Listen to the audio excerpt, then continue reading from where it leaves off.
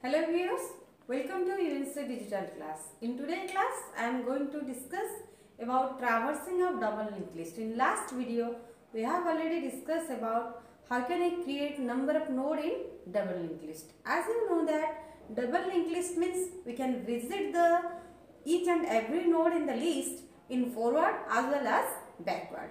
So we need two pointer for forward traversing as well as backward traversing. So first we will be know about what is linked list structure in double linked list and we will be traverse that linked list.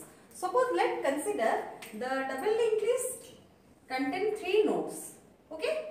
Suppose this one is the first node which is created at location 100 and suppose containing data 10 okay and initially this will be null and this will be null and when the second node is created in the double linked list suppose this will be created at location 200 and whenever this second node is created then this will be pointed by this node that means at the next part of the double link uh, first node it will store the address of its next node as well as as we are traversing this node in two way that means in forward and backward that's why we must store at the pre part of the second node the address of the previous node or here the address of the first node. So we can store 100 in this location. Okay. And still it is contain null value. And whenever the third node is created in the double linked list, suppose this one is the third node which is created in the double linked list, suppose at location 300. Then it becomes 300 that means the next part of the 200 node becomes 300 which will point to its next node and the pre part of the last node that means this node will contain 200 that is the previous node address of this node which will be pointed by this and suppose the data stored in this node is 30 and the next part of the last node contain null because after that we don't have any node to traverse. We can also see at the first node pre, uh, first node pre part also contain null value because before that we don't have any node to traverse. So this is the node number of nodes in our double linked list and we have to traverse this node. Like your single linked list for traversing the double linked list we need the static node address. So in our function we must receive the address of the static node and what will be the function for double linked list. So void because we don't have to return any value to its calling part. So void. So we'll let the function name is dl underscore traverse. You can take any name because it is a user defined name. You can take any name. And we are receiving the starting node address. That means we must have a pointer that is start. Initially it will be null and when the nodes are created it will initialize as 100 because the starting node address is 100. Okay. So it will be received by struct node another pointer that is start. Okay. So this is the function definition for traversing the double linked list. So before we go for traversing the double linked list, we must know about what is the node structure in double linked list. As you see that this has a pre part and this has a next part. That means every node has a pre part as well as its next part. So what is the structure of the double linked list? Let's consider struct node and suppose the data part will be stored by the variable info. And as you know each node have two address part. So struct node. Suppose this two address will be contained by two pointer. That is one is a pre pointer and another one is your suppose that one is your next pointer. Okay. This is the structure of the node. And as per the structure i already defined the number of nodes in your double linked list. Okay? So come to this point. So now we start traversing double linked list as we are receiving the start node address. The start node address is contained by the start pointer and this will again pass to its traversing function and this will again receive by the another start pointer. Suppose that is 100 is contained by the start pointer. Now we will start traversing the double list suppose we need two pointer struct node type pointer for traversing the double linked list in forward and backward direction. Suppose that is star of P and star of Q. So initially, let me initialize now both the variables. Okay. Then we will first start traversing double linked list in forward di direction. Okay. So first initialize P by start pointer. Okay. So initially P will initialize as now you can see and when I execute this statement P equals to stat then P becomes 100. Okay. Then as we are traversing forward so let me define the condition for that. While we will traverse the first node then second node then third node. Then what will be the condition? P not equals to null. Okay. This is the condition. Then suppose Q equals to P and printf percentile D we will display the data part or info part of this node. Okay. When I write this statement, so Q is null, initially Q is null and when I execute this, Q became 100. Okay. And I have to display the data part of this node. Okay. This means this address is contained by P. So I can write P info. Okay. It means P contain 100 and at the info part of the P it contain 10. So first it will display 10. Okay. Then next I will go for the forward traversing. So for that I can write P equals to P next because I have to go for forward traversing. Okay. And when I write P equals to P next, so P becomes 200. Okay. Then end the while curly braces. Okay. And when I execute P equals to P next, then I will for this. Again I will be check the condition P not equals to null. So P is 200. P not equals to null. The condition is true. As this condition is true, then again I will be initialize Q equals to P. Okay. So Q becomes 200. Here I execute this statement to store the address of the last node which is recently visited. As we are go for the forward traversing and when we reach at the last node then Q will store the address of the last node. Okay. Then next.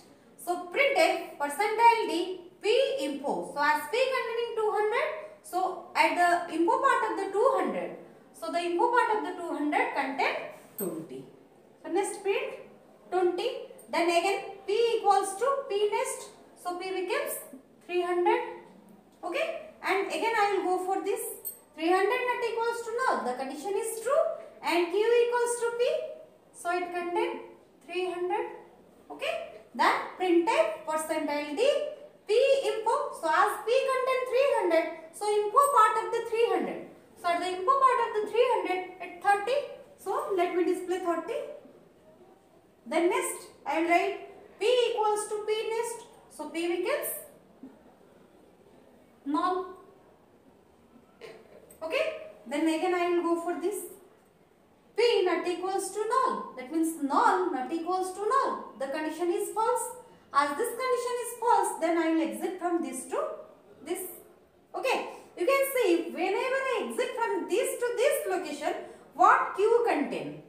Q contain the last node address which I was recently visited. That is our last node of the double linked list. And by using Q pointer, I can traverse the double linked list in backward direction also. Okay. Let's see the backward traversal for double linked list. So let me give a message for forward for backward traversing that is printf backward traversing. Okay. Execute a new line. So first so for executing backward traversing, I will execute another loop that is while q not equals to null. Okay. Then as you can see q contain 300. So as q contain 300, so 300 not equals to null. The condition is true. As this condition is true, as we are executing forward traversing, so next will be displaying the info part of the 300 node. That is our last node of the double list. So for that I can write printf percentile d q info okay and when I execute this so in the display screen it will display backward traversing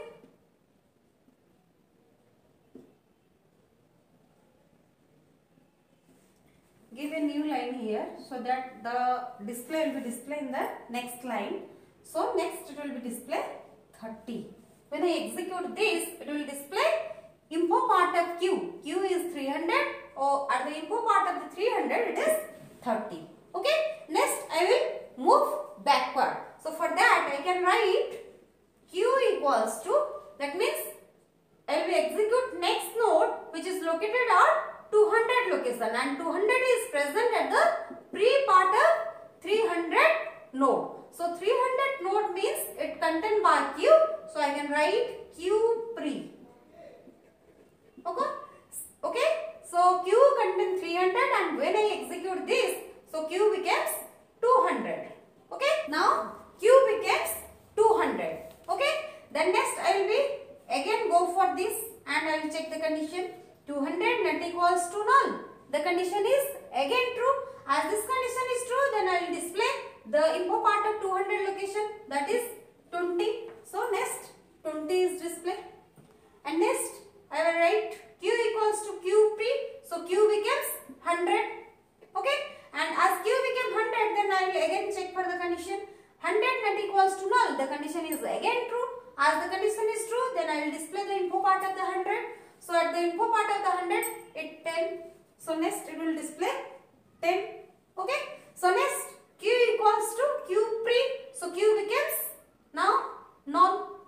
So next I will check the condition.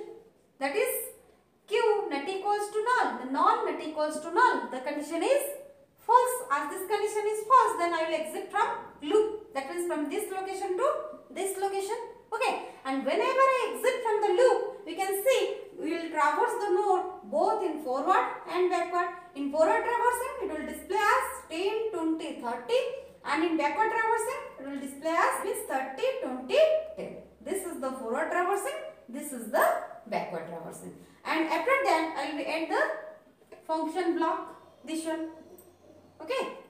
So this is all about your double linked list traversing. So let me execute algorithm for traversing the double linked list. Okay. Let's see the algorithm for traversing the double linked list. We will see the algorithm for traversing double linked list. Okay. So algorithm set. P equals to start. Okay. This is our start pointer. And initially the start pointer is null. You know that?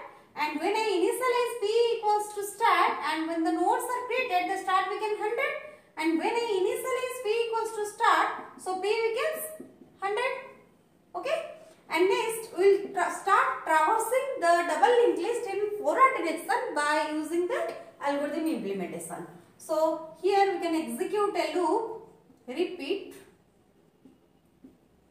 step 3 to sorry 2 to 5 to 5 while this condition is true. That is p not equals to null okay?